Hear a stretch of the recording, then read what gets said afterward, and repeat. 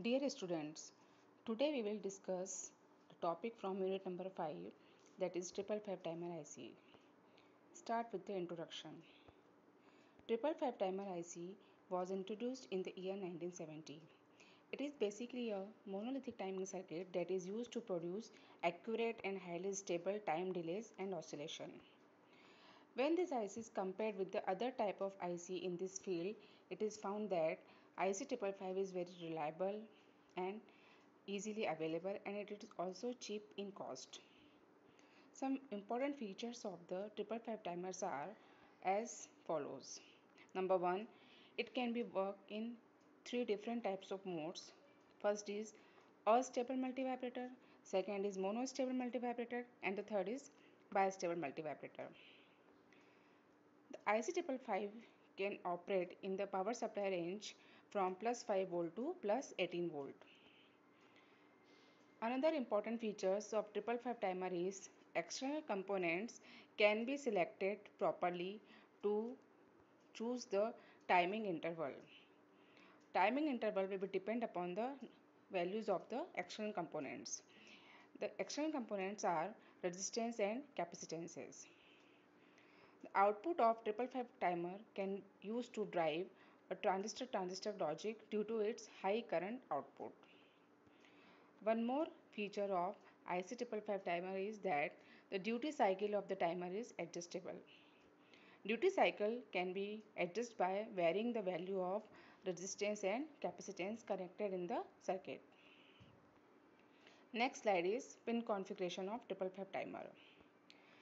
From the slide it is it can be seen that Pin number 1 is ground, pin number 2 is trigger input, pin number 3 is output pin, pin number 4 is reset pin, pin number 5 is control voltage pin, pin number 6 is threshold, pin number 7 is discharge pin, pin number 8 is supply voltage or the VCC. This is simply pin configuration. But to understand the working of this IC, we have to go through the internal block diagram of IC triple five. The next slide shows the internal block diagram of IC triple five.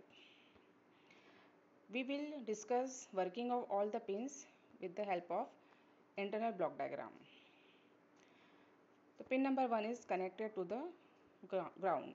All voltages are respected, all voltages are measured with respect to the pin number 1 for the ground.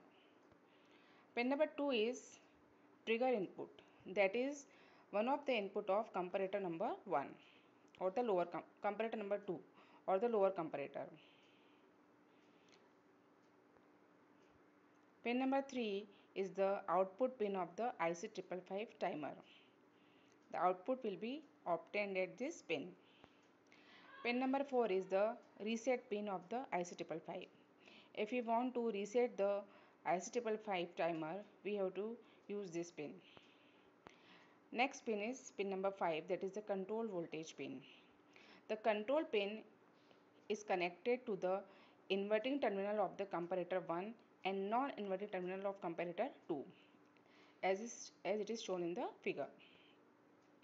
The value of the control voltage is connected to the inverting terminal 1 comparator number 1 is 2 by 3 VCC and that is connected to the comparator number 2 is 1 by 3 VCC. How it is obtained? The value of control voltage is obtained by using the voltage divider rule in the 5 kilo ohm voltage in the 5 kilo ohm resistances branch. As we know that there is no current flow through the internal circuit of the operational amplifier. The comparator is also an operation amplifier so there will be no current flowing through the input terminals. The current will flow through the resistance only. So we can use voltage divider rule here to calculate the value of control voltage. From the voltage divider rule it is very clear that the voltage at the inverting terminal of the comparator 1 will be equals to the total voltage VCC into resistance from this node to the ground that is equals to R plus R divided by the total resistance R plus R plus R. So it will be equal to the 2 by 3 VCC. Similarly, the value of control voltage at the non-inverting terminal of comparator 2 can be obtained by using voltage divider rule. Total voltage VCC into the resistance from the from this node to the ground that is R divided by R plus R plus R. So it becomes equal to the 1 by 3 VCC. One more important thing is here that the name IC555 is given due to the values of the resistance connected in the circuit. All are having 5 kilo ohms value. Next pin is pin number 6. Pin number 6 is called as the threshold pin. This is the pin that is used to change the state of the IC. Next pin is pin number 7. This pin is connected to the collector of the transistor. This is the internal transistor of the circuit. In the monostable unstable circuits, we will connect this pin to the capacitor for the discharging and charging. The last pin is pin number 8 that is the VCC. The range of the VCC can be from plus 5 volt to plus 18 volt. These are, these are the functions of all these pins. Now the working of this circuit. This circuit can be divided into four sections. It has four main sections. First section is 5 kilo ohm potential divider. Second section is comparator. Third section is RS flip-flop and the fourth section is discharge transistor. We have already discussed the first section that is a 5 kilo ohm potential divider. It gives two voltages 2 by 3 VCC and 1 by 3 VCC for the control value, control voltage value. The next section is the comparator. There are two comparators, comparator number 1 and comparator number 2. Comparator 1 will compare threshold voltage with the control voltage value 2 by 3 VCC and gives output accordingly low or high. Comparator 2 will compare the voltage 1 by 3 VCC and trigger input voltage and gives the output low or high accordingly. The next section is RS flip-flop. We already aware about it. The RS flip-flop working depends upon the inputs of input values of S and R. When S is high, Q is high, Q becomes high and the flip-flop is set and when R is high, the flip-flop becomes reset. The next section is the discharge transistor. It is very important section to understand the working of the unstable and monostable multivibrator. Here we can understand that when the threshold voltage becomes high than 2 by 3 VCC.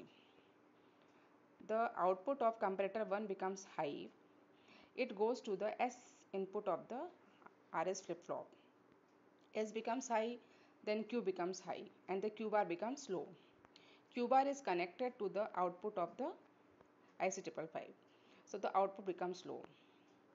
The output of the flip-flop Q goes to the base of the transistor. As it is high, the transistor goes into saturation.